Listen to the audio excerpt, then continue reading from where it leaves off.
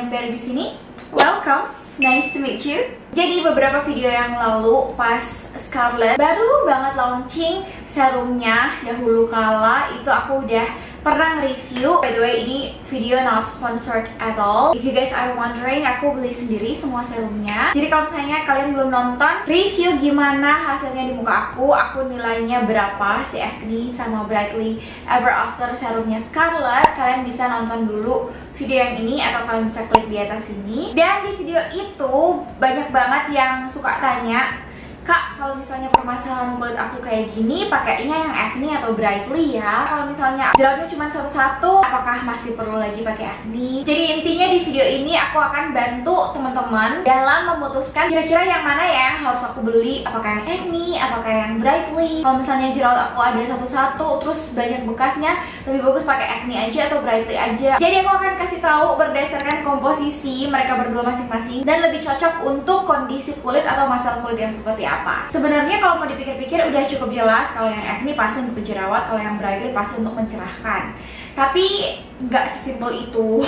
Aku akan mulai bahas pertama dari komposisinya dulu. Yang kedua, pilih yang mana untuk jenis kulit yang mana. Dan yang ketiga, gimana kalau misalnya kalian mau pakai keduanya, cara layernya tuh kayak gimana. Sama untuk yang acne, dia alcohol free, nggak ada simple atau bad alcohol, nggak ada fragrance juga. Poin plus untuk yang punya kulit sensitif. Terus dia ada salicylic acid. Salicylic acid ini yang mempunyai kemampuan anti jerawat atau mengeringkan jerawat dengan lebih cepat dan yang punya jerawat kecil-kecil itu akan lebih cepat keluarnya jadi jerawat gede dan lama-lama hilang. Selain salicylic acid yang punya konsentrasi cukup tinggi atau kedua dari ingredients listnya adalah tea tree water yang berperan penting juga untuk mengeringkan jerawat dan selain untuk mengeringkan jerawat, tea tree punya fungsi untuk soothing, menyejukkan sehingga kemerahan atau peradangan yang terjadi oleh karena jerawat itu akan dibantu menjadi reda. Ada juga centella asiatica guys. I really love that ingredient yang ampuh banget untuk menenangkan kulit dan juga sebagai anti peradangan. Again, kemerahan kulit-kulit yang merah-merah akibat jerawat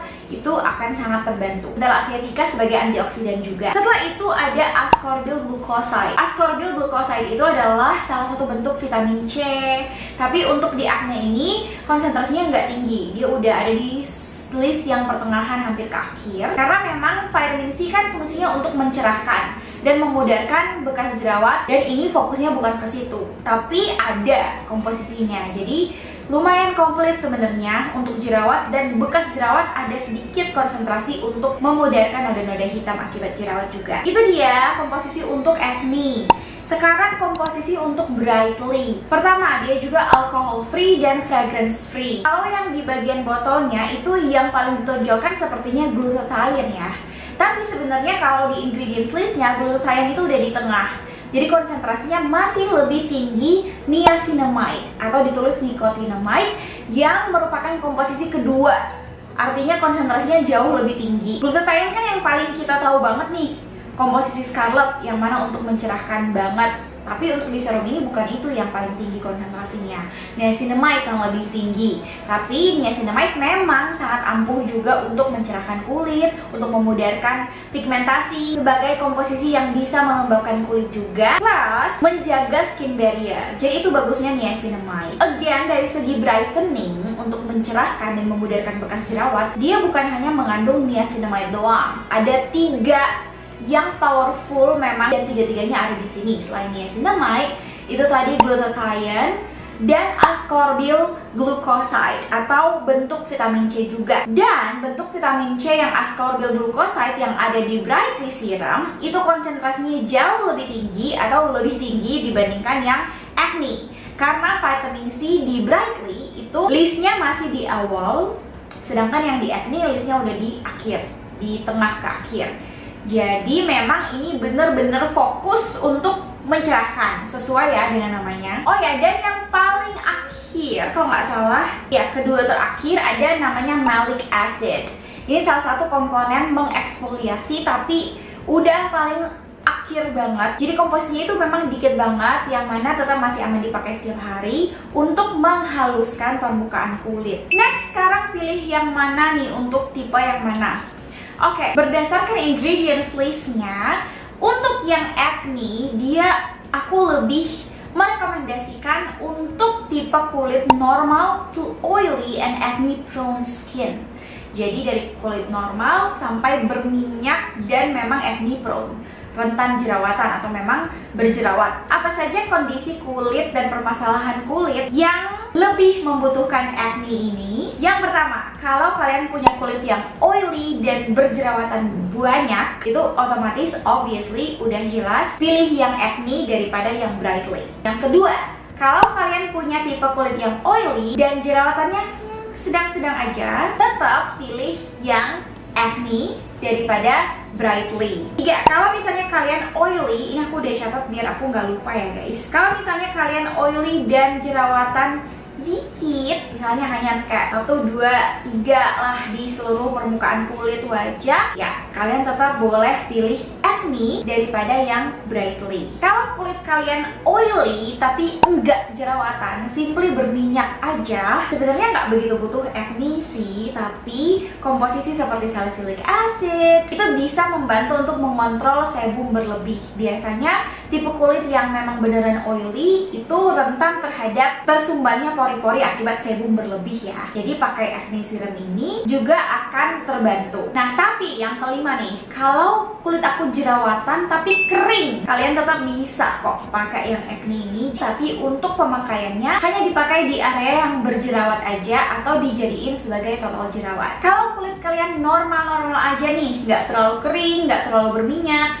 tapi ya ada jerawatnya, sama. Mau basmi jerawatnya, pakaiin aja di area yang berjerawat atau ditotolin aja sebagai total jerawat. Terakhir, gimana kalau misalnya udah nggak ada jerawat dan tinggal bekasnya doang? Rekomendasi dari aku ya, lihat kalau misalnya tinggal bekasnya tapi kulit kalian masih oily, masih berminyak banget, aku saranin tetap aja pakai acne-nya. Ingat, di acne serum ini ada komposisi vitamin C-nya juga atau ascorbyl glucoside sama licorice extract. Dua-duanya bisa mencerahkan atau memudarkan bekas jerawat. Walaupun nggak setinggi yang brightly, tapi karena kulit kalian tuh masih super oily, lebih bagus untuk tetap mengontrol sebum pakai acne serum ini. Sekaligus kalau kalian rutin pakai, ada komposisi tetap yang bisa membantu untuk memudarkan bekas jerawat. Jadi tetap pakai acne serum kalau kalian kulitnya masih oily banget. Kenapa aku bilang kalau misalnya masih oily, tetap aja stick di acne?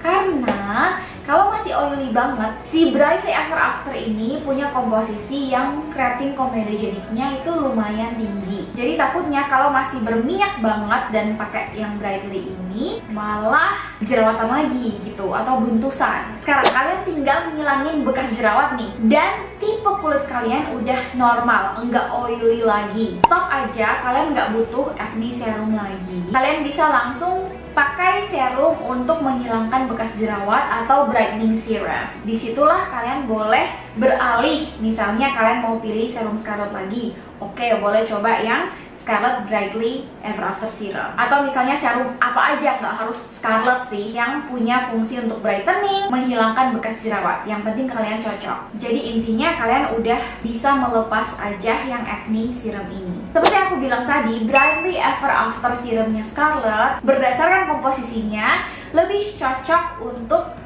normal to dry skin. Kalau oily skin, ini ada sedikit banyaknya ada risiko untuk menyumbat pori-pori. Ada komposisi komedogenik yang ratingnya tinggi, yaitu tocopherol. Jadi kondisi kulit apa aja yang membutuhkan Brightly Ever After serumnya Scarlett ini? Kalau kalian punya jenis kulit yang normal to dry, mau hilangkan bekas jerawat atau noda hitam atau hiperpigmentasi, Ya, kalian lebih butuh Brightly Ever After serumnya daripada yang acne. Kedua, kalau kalian kulitnya kusam dan kering, terus menggelap gitu, kurang cerah, of course kalian lebih butuh Brightly daripada yang acne. Tiga, kulit kombinasi gimana? Boleh juga pakai yang brightly-nya Tapi biasanya kan kalau kombinasi tuh ada area yang oily ya Misalnya di bagian pipi dry dan yang di bagian T-zone oily Nah, untuk yang di bagian dry skin silahkan dipakein brightly Tapi di bagian yang oily banget, pakainya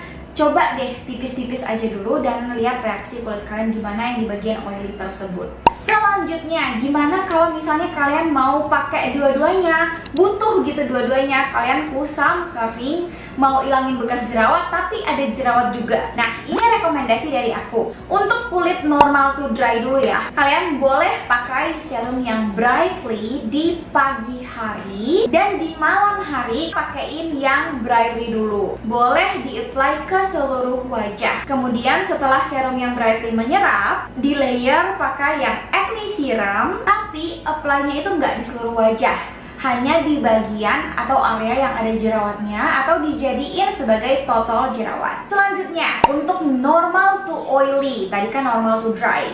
Kalau normal to oily, artinya kulit kalian lebih cenderung atau condong ke berminyak. Pertama, pakaiin acne serum boleh pagi sama malam di seluruh wajah. Gak perlu hanya jadi total jerawat, pakai aja di seluruh wajah nggak apa-apa untuk yang lebih ke oily skin ya. Di malam hari, kalian bisa tambahin brightly. Setelah pakai yang acne, tunggu menyerap, baru di layer pakai yang brightly. Tapi yang brightly ini dipakein di area yang ada bekas jerawatnya aja. Kalau combination skin pagi dan malam boleh pakai yang brighteningnya Brightly Ever After Serum. Di area kalian yang berminyak itu boleh juga dipakai tapi disarankan coba dulu di satu area. Misalnya kulit kalian yang berminyak itu kan T-zone. Kalian coba pakai dulu di dahi misalnya. Habis itu lihat toleransi kulit kalian. Kalau misalnya aman-aman aja ya udah kalian pakai aja di seluruh wajah di malam harinya kalian bisa layer pakai yang acne serumnya hanya di bagian yang ada jerawatnya aja.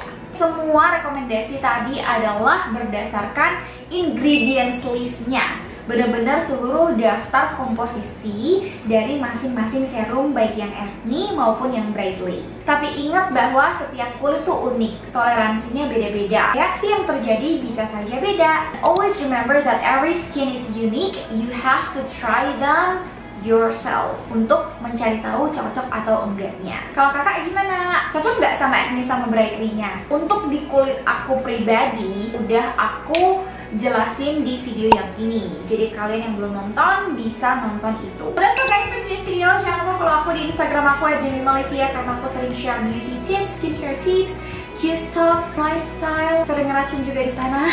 See you guys on my next video And bye-bye for now